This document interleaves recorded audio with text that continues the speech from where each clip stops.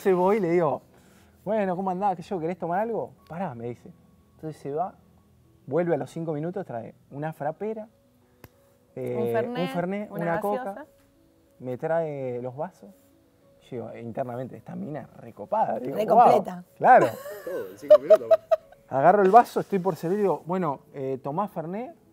No, me da el otro boliche, nos vemos. ¿Me das así? Se fue. Y bueno, Bueno, entonces a partir de eso empezó todo mi laburo, teníamos una amiga en común, le dije, por favor, haceme los papeles, decime cómo hago para ir de nuevo a boliche, para... Bueno, me- finalmente como que programó todo y ahí nos conocimos y bueno, y surgió día acá día sí.